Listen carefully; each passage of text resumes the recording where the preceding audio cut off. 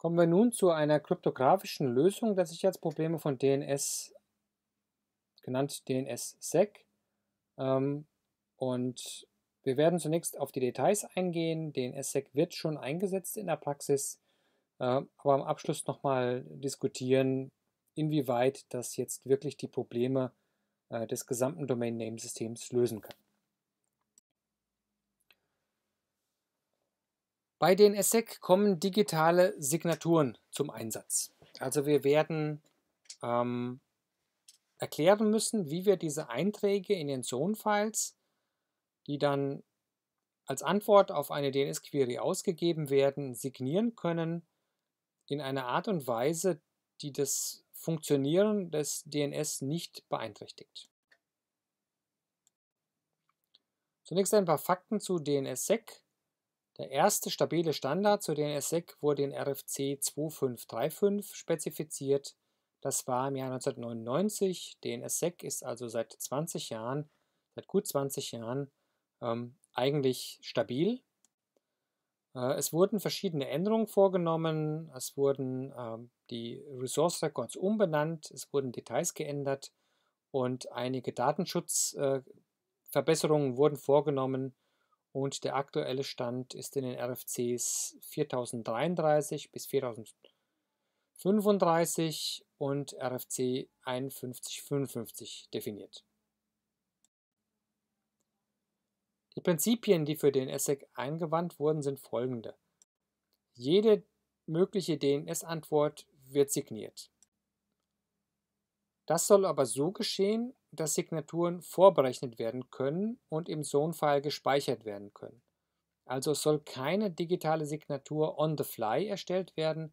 Das würde die Last auf den DNS-Servern zu sehr erhöhen und äh, für Denial-of-Service-Angriffe Tür und Tor öffnen.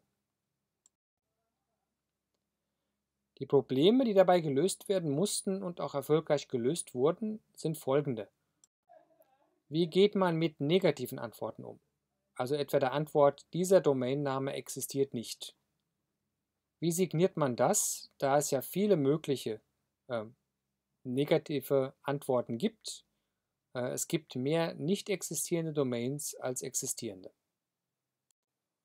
Und das zweite Problem ist, wie wird eine Vertrauenshierarchie etabliert? Das heißt, wie müssen die Signaturen validiert werden, damit am Ende der DNS-Server sicher ist, ein authentisches, einen authentischen Datensatz erhalten zu haben. Bevor wir diese Fragen beantworten, schauen wir uns erstmal ein kleines Beispiel an. Auf dieser Folie ist eine leicht erweiterte kleine Zone-File dargestellt. Also diese Datei ist um einige Einträge erweitert. Das betrifft aber nur zwei Mail Exchange Records, die hier angegeben sind und ein IPv6-Eintrag. Ansonsten ist äh, das das gleiche Beispiel, das wir in dem ersten Video zu DNS gesehen hatten. So sieht die unsignierte Zonendatei aus. Und wenn wir sie signieren, dann sieht sie hinterher so aus. Das heißt, das ist hier ein ähm, echtes eine echte Signierung fand hier statt. Es wurde Bind 9 Utils verwendet in der Version 9.11.3 und Sie sehen, die Datei wird zunächst mal viel, viel größer und enthält viel, viel mehr Informationen. Und ähm, wie das genau dazu kommt, dass diese äh, Datei so sehr viel größer wird, das möchte ich Ihnen ähm, gleich mal an äh, kleineren Beispielen erklären. Wie geht man vor, um einen Sohnfall zu signieren? Man muss eine bestimmte Reihenfolge von Schritten einhalten. Zunächst einmal werden die RR-Sets der Zonendatei nach ihrem Namen sortiert. Diese Sortierung erfolgt nach einem bestimmten Muster. Zunächst werden alle Namen Fully Qualified Domain Names nach der Anzahl ihrer Labels sortiert. Das heißt, die zwei Labelnamen wie example.com stehen vor den drei Labelnamen. Bei gleicher Anzahl von Labels werden die Namen nach ihrem ersten Label lexikografisch sortiert.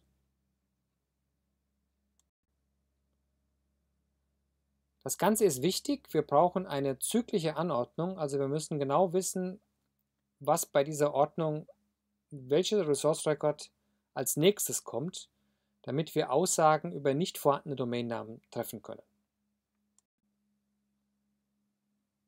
Zu jedem der bereits vorhandenen äh, Resource Records wird ein weiterer Eintrag generiert, ein INSEC-Eintrag. Dieser Eintrag wird dazu verwendet, um Anfragen für nicht existierende Domains zu beantworten. Ähm, es wird also nicht mehr einfach nur gesagt, diese Domain existiert nicht, sondern es wird gesagt, die nächste existierende Domain ist folgende. Jedes RR-Set, das heißt jeder ursprüngliche Eintrag, jede Gruppe von Einträgen, die ein RR-Set bilden und diese NSEC-Einträge werden signiert das heißt, wir haben eine Vervierfachung der Einträge. Wir hatten ursprünglich einen Eintrag, durch die Einführung der NSEC Resource Records ist das verdoppelt worden. Jetzt erhält jeder dieser Einträge noch einen Signatur Resource Record. Wir haben also eine Vervierfachung der Einträge in der Zonendatei. Diese neuen RR-Sets haben die gleiche Struktur wie die alten. Sie können also problemlos gecached werden. Äh, und das war ja ein Hauptziel ähm, bei der Konzipierung von DNSSEC. Schauen wir uns das mal im Detail an einem kleinen Beispiel an aus dem Resource Record zu host3.example.com. Wir haben die Einträge schon lexikografisch sortiert. Wir wissen also, der nächste Eintrag in der Zonendatei nach host3.example.com ist host4.example.com. Deswegen können wir jetzt ein NSEC Resource Record erzeugen und das Ganze in die Zonendatei einfügen. Dann wird das ursprüngliche Resource Record signiert. Es wird ein RRSIG Resource Record mit der Signatur eingefügt. Und schließlich wird auch das NSEC Resource Record signiert und äh, auch hier ebenfalls ein RRSIG Resource Record eingefügt. Wir haben jetzt schon drei neue Resource Records kennengelernt. Ähm, Im Detail werden wir die jetzt noch einmal äh, beschreiben in den Nachfol auf den nachfolgenden Folien. Das wichtigste neue Resource Record ist sicher RRSIG. Hier werden digitale Signaturen gespeichert. Und ich möchte an dem Beispiel der Signatur für host3.example.com mal die einzelnen Teile erläutern. Wir haben zunächst einmal Namen, Time to Live, Klasse und Typ des signierten Eintrags. Also hier wird angegeben, zu welchem Namen der Eintrag gehört. Die Signatur gehört also zum Domainnamen host3.example.com. Dort gehört sie zu dem Address Resource Record.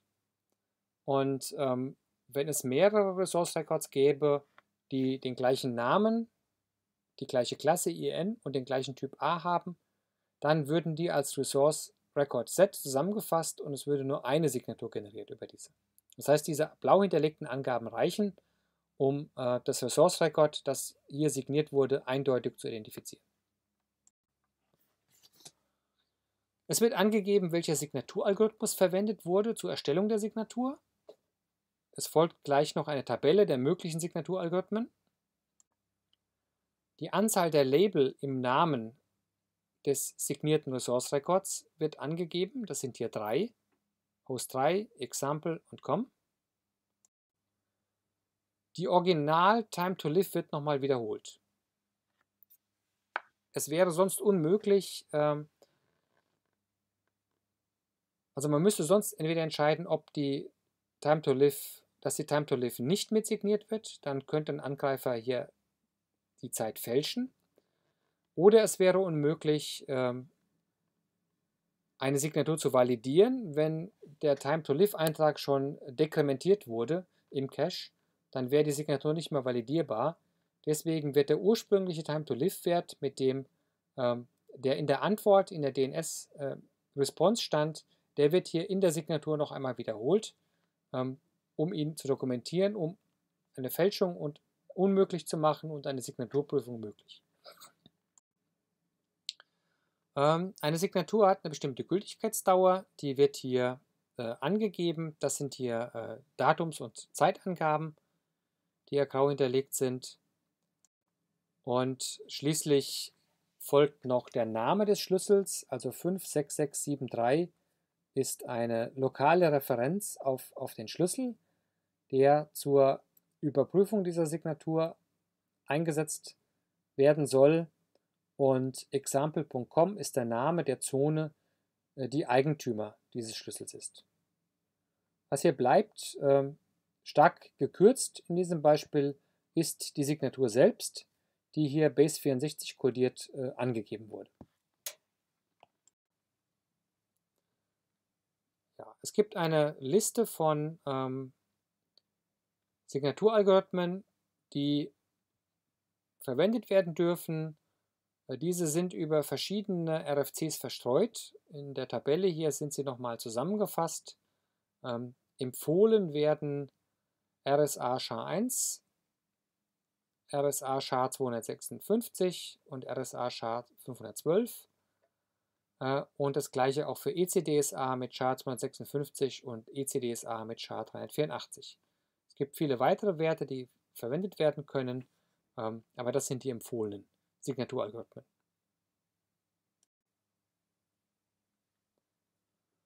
Wenn ich eine Signatur habe, dann brauche ich auch einen Schlüssel, um die Signatur zu validieren, einen öffentlichen Schlüssel.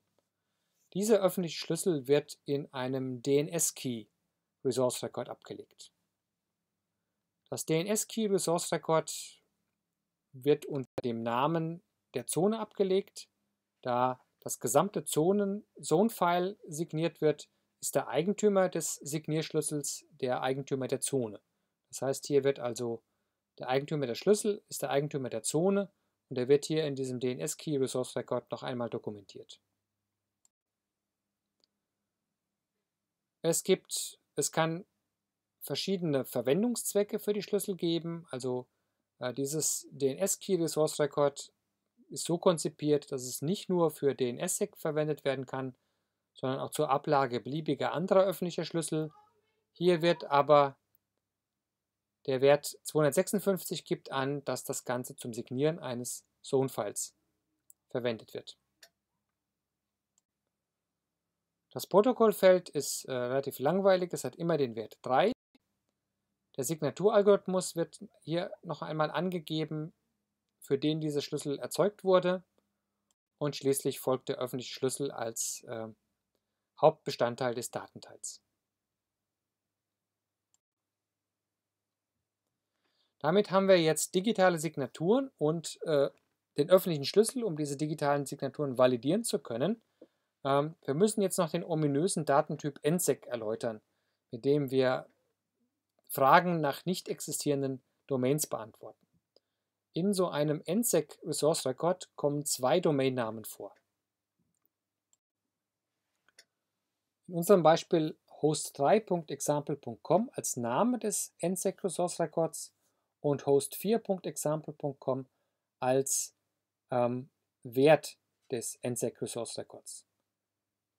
Der Bedeutung dieser beiden, dieses Resource Records ist folgendes. Ähm, zwischen diesen beiden Domainnamen liegen in der gewählten lexikographischen Ordnung keine weiteren Domainnamen. Das heißt, wir können Folgendes machen, wenn eine Anfrage nach einem Domainnamen gestellt wird, der nach der definierten lexikographischen Ordnung zwischen den beiden Werten liegt, dann wird in der Antwort der RDATA-Teil dieses Resource Records zurückgegeben, zusammen mit der Signatur, die in dem RRSIG Resource Record gespeichert ist.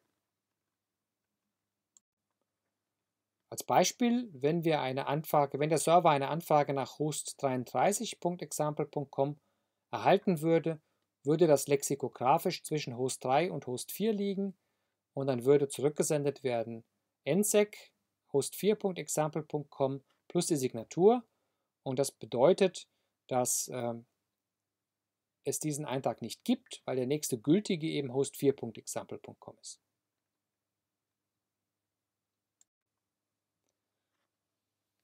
So. Damit ergibt sich schon ein, ein Problem. Ähm, Domainnamen sind ja eigentlich öffentlich, aber es kann doch ein Problem darstellen, wenn man relativ einfach den gesamten Namensraum, den eine Firma belegt, ermitteln kann. Das wäre mit den NSEC Resource Records ja möglich. Ich muss einfach nur nach nicht existierenden Domains fragen und bekomme dann die nächste existierende Domain geliefert. Also ich kann einfach hingehen und kann eine beliebige zufällige Domain anfragen. Äh, die wird nicht existieren, dann bekomme ich den nächsten Domainnamen zurück. Ich hänge da ein kleines XYZ dran an den Domainnamen, stelle wieder eine Anfrage. Mit hoher Wahrscheinlichkeit gibt es das wieder nicht und ich bekomme den nächsten Domainnamen geliefert. So könnte ich alle existierenden Domainnamen relativ einfach herausfinden. Das hat man in äh, der DNSSEC-Standardisierungsgruppe diskutiert und hat eine Lösung dafür gefunden und die Lösung äh, heißt NSEC 3. Also NSEC 3 liefert nicht mehr den Domainnamen der nächsten Domain zurück, sondern nur noch einen Hashwert. Dazu muss ein bisschen was verändert werden, wenn NSEC 3 äh, verwendet werden soll, muss der Signierprozess anders gestaltet werden. Es müssen zunächst einmal die Hashwerte aller Domainnamen gebildet werden. Diese Hashwerte ersetzen den Namen in den RR-Sets. Genauer gesagt wird der Hashwert des ursprünglichen Namens dem Fully Qualified Domain Name des Eigentümers der Zone vorangestellt. Also der Domainname bleibt im Klartext erhalten, aber alle Subdomains werden gehasht und werden vorangestellt. Dann werden diese RR-Sets lexikografisch nach den Hashwerten sortiert. Damit hat man auch wieder so eine zyklische Ordnung. Und ähm, es wird nach jedem RR-Set ein NSEC3 Resource Record eingefügt, der auf den Hashwert des nächsten Eintrags verweist. Und diese RR-Sets werden auch signiert. Man kann jetzt also nicht mehr schließen, was die nächste Domain ist, äh, aber wenn jetzt, äh, wenn man ein NSEC Resource Record zurückbekommt, dann, dann weiß der Anfragende, dass die angefragte Domain nicht existiert in diesem, ähm, in diesem Zone-File.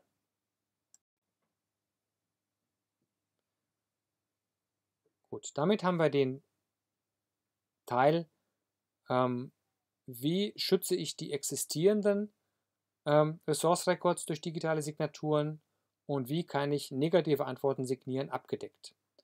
Bleibt noch das Problem zu lösen, wie kann ich denn eine Vertrauenshierarchie etablieren? Ähm, wenn ich jetzt zum Beispiel bei einem Nameserver angreifer.org anrufe, ähm, anfrage, dann hat er natürlich seinen eigenen Public Key definiert und kann mir den zurückliefern.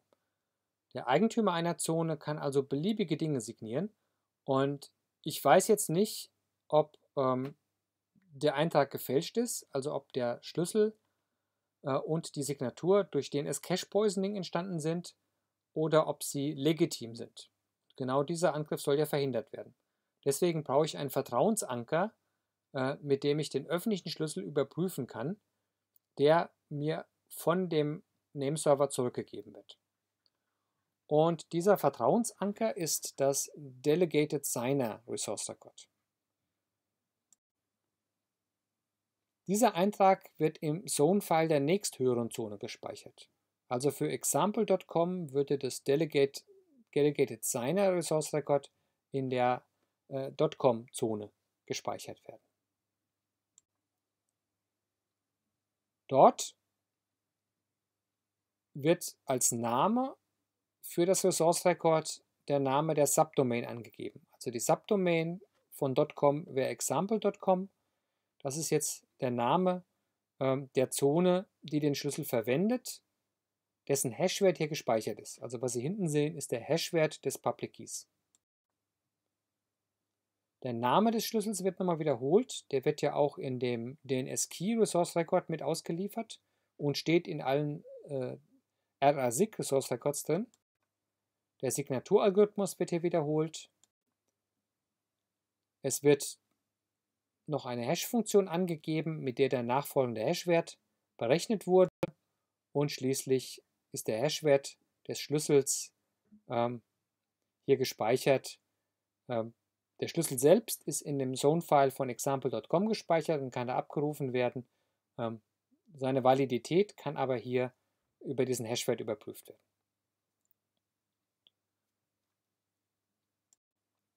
Damit haben wir die Verankerung in einer Art Schlüsselhierarchie geschafft. Ähm, es ergibt sich jetzt aber ein sehr, sehr komplexer Validierungszyklus ähm, für ein einzelnes signiertes äh, Resource Record. Äh, schauen wir uns mal an, wie jetzt eine digitale Signatur für das ganz rechts unten stehende Address Resource Record für www.example.com, wie das validiert würde.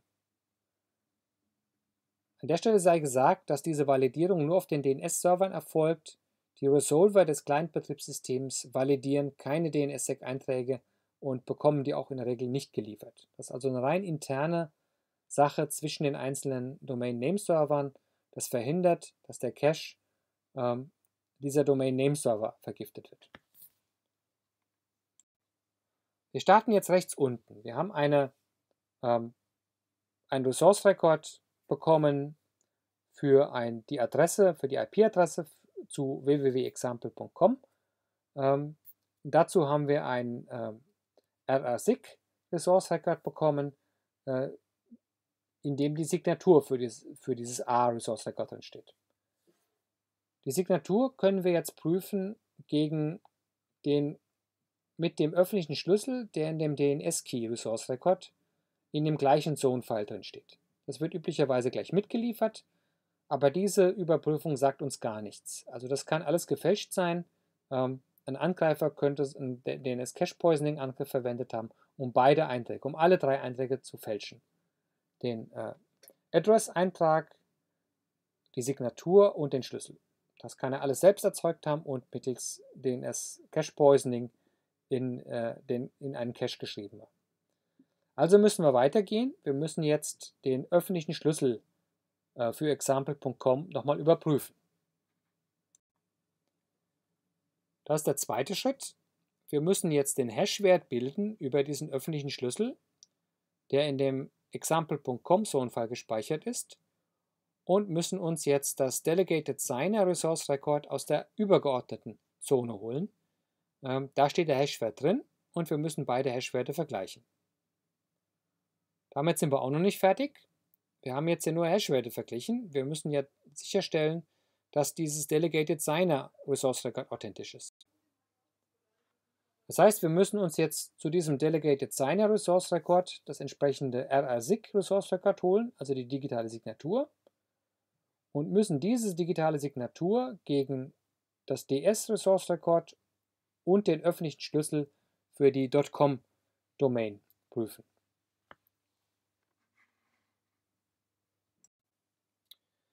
War auch diese Signaturüberprüfung erfolgreich, dann wissen wir immer noch nicht, ob der Schlüssel in der .com-Zone authentisch ist, denn auch der wird gecached und wir erhalten diesen Schlüssel sehr wahrscheinlich aus einem Cache heraus und nicht von dem äh, Original-Name-Server. Das heißt, wir müssen jetzt wieder überprüfen, ob diese gecachte Version nicht Ergebnis eines DNS-Cache-Poisoning-Angriffs ist und müssen den Hashwert über den öffentlichen Schlüssel aus dem DNS-Key-Eintrag mit dem in der Root Zone-File abgelegten Hashwert vergleichen. Ist auch dieser Vergleich erfolgreich, müssen wir eine allerletzte Überprüfung machen. Wir müssen nämlich die Signatur für dieses Delegated Signer Resource File überprüfen mit einem Schlüssel, der out of band übermittelt werden muss. Also hier können wir nicht mehr das Domain Name System verwenden, um den Schlüssel zu übermitteln. Dieser Schlüssel, der muss manuell äh, in alle, in die Software der einzelnen äh, DNS-Server eingegeben werden und äh, ein Update dieser Schlüssel ist natürlich extrem kritisch und entsprechend schwierig. Und der öffentliche Schlüssel für die Root Zone-Files ist unser Vertrauensanker. Ähm, und wenn wir diesen Vertrauensanker erreicht haben, dann haben wir die Validierung von DNSSEC abgeschlossen. Also ein sehr komplexer Vorgang, der sehr, sehr viele weitere Schritte erfordert, um äh, die Authentizität eines Eintrags zu überprüfen. Aber natürlich können diese Schlüssel, diese DNS-Key-Einträge, wenn sie einmal überprüft wurden, auch gecached werden und stehen dann ähm, für weitere Überprüfung zur Verfügung. Dann muss nicht mehr die gesamte ähm, Vertrauenshierarchie durchlaufen werden, um hier ein Vertrauen herzustellen. Das war eine kurze Einführung in DNSSEC. Ähm, wo liegen die Probleme mit DNSSEC? Das erste Problem ist ähm, das Deployment. DNSSEC ist seit über 20 Jahren standardisiert, aber das Deployment stagniert bei einer niedrigen ähm, Prozentzahl, also zwischen 10 und 20 Prozent äh, der Domains sind nur mit DNSSEC ähm, signiert. Die restlichen 80 Prozent sind unsigniert, das heißt, ähm, es gibt auch keine Methodik, nach der man feststellen kann, was signiert sein muss und was nicht. Das heißt, ich kann jederzeit den gesamten Mechanismus umgehen, indem ich einfach eine unsignierte Antwort schicke und der Empfänger weiß nicht, ob er da DNSSEC erwarten muss oder nicht. Bei einem riesigen Problem, riesigen System wie DNSSEC bleibt es natürlich nicht aus, dass gewisse kryptografische Probleme auch auftreten. Und exemplarisch sei hier nur eine Untersuchung von der TU Darmstadt genannt. Ähm, dort wurde DNSSEC untersucht. Es wurden alle ähm, DNS-Key Resource Records heruntergeladen und die Qualität der RSA-Schlüssel wurde untersucht. Also es wurde zum einen festgestellt, dass 90% aller Signaturen RSA-Signaturen sind. Und bei RSA-Signaturen kommt es darauf an, dass keine Primzahl im Modulus n, der aus zwei Primzahlen besteht, doppelt verwendet wird. Wenn eine Primzahl doppelt verwendet wird, kann man die Moduli durch eine einfache größte gemeinsame Teilerberechnung leicht faktorisieren und die zugehörigen Signaturverfahren werden unsicher. Das heißt, ähm, hier muss man sehr gut aufpassen. Und in dieser Untersuchung wurde festgestellt, dass 66% dieser RSA-Schlüssel ähm, qualitative Mängel aufweisen. Das heißt, hier stand drin, sie konnten potenziell gebrochen werden. Es war kein direkter Angriff möglich, aber es war doch ziemlich bedenklich. Sie lagen weit unter dem, dem Standard, ähm, wie man sichere RSA-Schlüssel erzeugen sollte. Wenn Sie das interessiert, können Sie das unter hier der angegebenen Referenz nachlesen.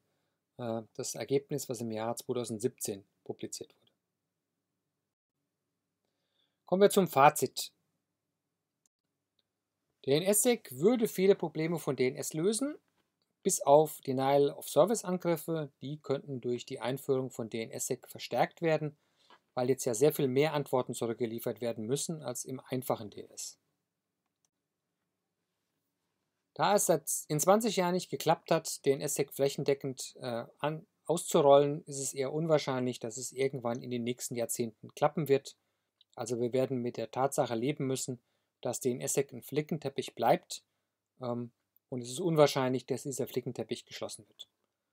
Es ist auch unklar, ob es wünschenswert wäre, dass er geschlossen wird, denn äh, ein, ein so großes monolithisches Vertrauenssystem ähm, wird sicher wieder ganz eigene Probleme mitbringen. Neuere Ansätze zur Sicherheit zur Absicherung von DNS gehen eher in eine andere Richtung. Zum Beispiel gibt es DNS over TCP als Idee. Äh, warum nicht einfach TCP verwenden? Es ist auf alle Fälle wesentlich leichtgewichtiger als DNSSEC. Ähm, es dauert etwas länger, bis eine Antwort eintrifft, aber ich habe einen Schutz gegen IP-Spoofing und damit auch einen besseren Schutz gegen äh, DNS-Cache-Poisoning-Angriffe. Ähm, oder ganz äh, radikal auch DNS over TLS. Da denken einige Browserhersteller nach über diese Möglichkeit. Sie fragen also vom Browser aus, ähm, wird die Namensauflösung über TLS durchgeführt. Hier ist also ein äh, Zugriff, äh, ein Einschleusen von gefälschten Antworten nicht möglich. Das würde sogar Man-in-the-Middle-Angriffe unmöglich machen.